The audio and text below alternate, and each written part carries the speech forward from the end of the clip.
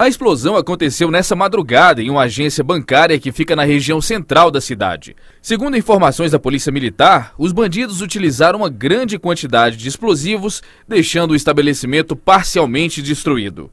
Por enquanto, ninguém foi preso e as investigações irão apurar quanto em dinheiro os bandidos conseguiram levar.